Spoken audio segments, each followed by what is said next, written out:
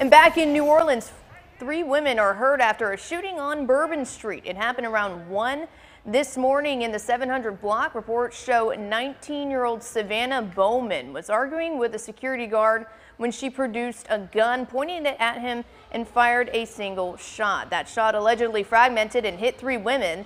The security guard was not hit. Bowman was arrested and is facing several charges, including aggravated battery.